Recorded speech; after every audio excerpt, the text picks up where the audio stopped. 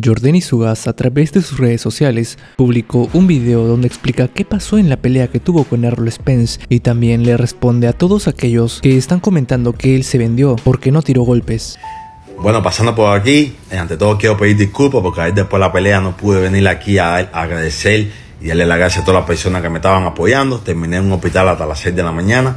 y eh, ahora en los próximos días voy a saber si voy a necesitar cirugía del ojo o no. Eh, vamos a ver. Pienso que peleamos contra uno de los mejores, las cosas no salieron como yo había trabajado, como esperaba.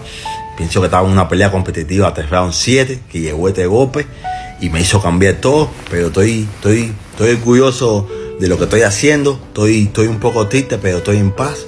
Estoy representando a mi comunidad en la élite del boxeo y otra vez no hemos caído, gracias a Dios nos hemos levantado, con el favor de Dios vamos a regresar más fuerte, con el favor de Dios Seguro que vamos a regresar más fuerte. Y en cuanto al golpe en el 7, el, golpe es parte del boxeo. No quiero quitarle nada a Spence.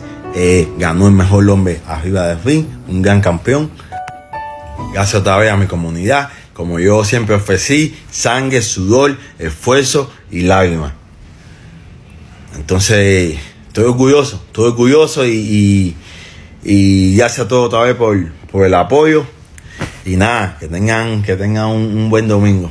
Como vimos, estas fueron las palabras de Ugas, y si es que hay algo que me molesta son todos esos comentarios de fanáticos casuales que están comentando que Ugas se vendió supuestamente porque no tiró golpes y que solo fue a cobrar un cheque, algo que no tiene ningún sentido, y es que simplemente hay que entender que en el boxeo hay niveles y que Errol Spence, como el mismo Ugas comenta en el video, fue mejor. Ugas no pudo hacer mucho porque el otro boxeador está en otro nivel, es así de simple, y en esta situación en la que se encuentra él actualmente es cuando hay que apoyarlo más, ya que este boxeador cubano se atrevió a unificar la división contra un boxeador muy peligroso, algo que muchos otros campeones no se atreven. Y si es que alguna vez te has preguntado por qué el boxeo actual no es como en la época dorada, es por lo que está pasando ahora. Muchos boxeadores, por no decir la mayoría, quieren mantener ese récord con cero derrotas, por lo que no se atreven a arriesgar su récord ni a exponerlo frente a boxeadores peligrosos, imitando de esa forma a Mayweather, quien si tiene cero derrotas es porque evitó a muchos boxeadores afroamericanos de escuela estadounidense, algo que Ugas le valió y solo por eso tiene mi respeto, por lo que ahora es cuando principalmente los cubanos, en vez de estar criticando Ugas, deben darle todo su apoyo. Yo estoy seguro que este guerrero, a pesar de haber tenido esta fuerte caída, se va a levantar y servirá de inspiración a toda esa camada de boxeadores olímpicos cubanos que se van a insertar en el boxeo profesional.